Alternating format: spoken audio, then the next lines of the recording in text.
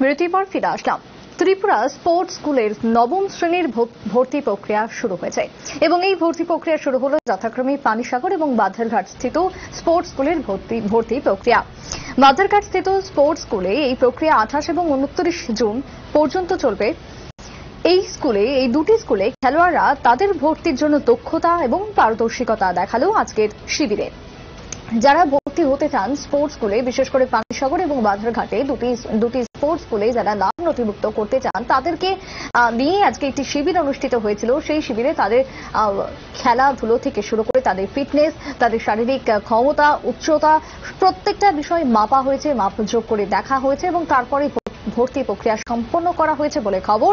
এবং এই প্রক্রিয়া সুষ্ঠুভাবে যাতে সম্পন্ন হয়, সুনিপুণভাবে যাতে সম্পন্ন হয়, তা সম্পন্ন করতে এগারো জনের বিশেষজ্ঞ একটি দল রয়েছে। যে যে- দল সুচারুভাবেই এই কাজ করবে, এমনকি সেই দল কাজ শুরু করে দিয়েছে আঠাশ এবং উনত্রিশ জুন।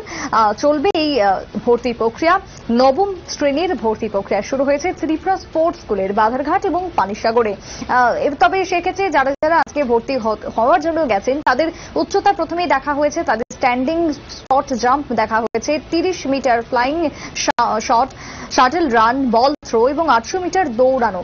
বিভিন্ন আয়োজন করা ছিল বিভিন্ন ক্রীড়া আয়োজন করা ছিল এবং সেই সমস্ত কিছু দেখা হচ্ছে যে প্রত্যেকে সঠিকভাবে দক্ষ কিনা। স্পোর্টস স্কুলের আহ, ভর্তির জন্য সকলের যোগ্যতা রয়েছে কিনা, সকলের উচ্চতা সঠিকভাবে রয়েছে কিনা, সকলের দৈহিক যে ওজন সেটাও সঠিক রয়েছে কিনা, বিভিন্ন বিষয় দেখা হয়েছে। তারপরে ভর্তি প্রক্রিয়া নেওয়া হয়েছে। যদিও যে দলটি রয়েছে, যে টিম কাজ করছে এর পেছনে তারা প্রত্যেকটা খেলোয়াড়কে বাছাই বাছাই করে ভর্তি নিচ্ছেন। যেমন এখনও পর্যন্ত খবর, যদিও পানিসাগর থেকে বারো জন ও বাধারঘাটের উনত্রিশ জন অংশ নিয়েছে।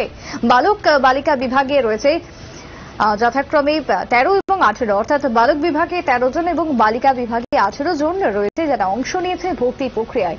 এবং সকলকে ট্রেনিং দেওয়া হবে যথাযথভাবে। তাদের প্রত্যেকটা খেলার সম্পর্কে আইডিয়া দেওয়া হবে, তাদেরকে খেলাধুলো করানো হবে এবং এবং এর পাশাপাশি যাবতীয় ক্রীড়া ব্যক্তিদের সঙ্গে পরিচয় থেকে শুরু করে তাদেরকে দক্ষতাভাবে তৈরি করা হবে এবং তারই উদ্দেশ্যে শুরু হয়ে গেছে ইতিমধ্যেই ট্রেনিং প্রক্রিয়া।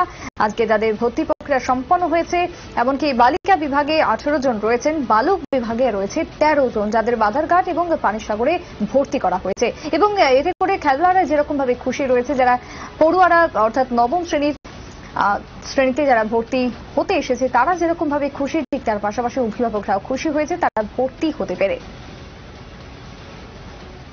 ত্রিপুরা স্পোর্টস স্কুলে নবম শ্রেণির ভর্তি প্রক্রিয়া প্রায় সম্পন্ন। আজ উনত্রিশ তারিখ অর্থাৎ গতকাল থেকে শুরু হয়েছে, মঙ্গলবার থেকে এবং আজকে উনত্রিশ তারিখ দুদিন ব্যাপী চলে এই প্রক্রিয়া। সমস্ত রকমের টেস্ট করা হয়। ফিজিক্যাল ফিটনেস তাদের রয়েছে কিনা, সমস্ত কিছু টেস্ট করার পরই ভর্তি প্রক্রিয়া সম্পন্ন করা হয়েছে টিমের পক্ষ থেকে। নিচ্ছে একটা বিরতি, ফিরছে বিরতির পর সঙ্গে থাকুন।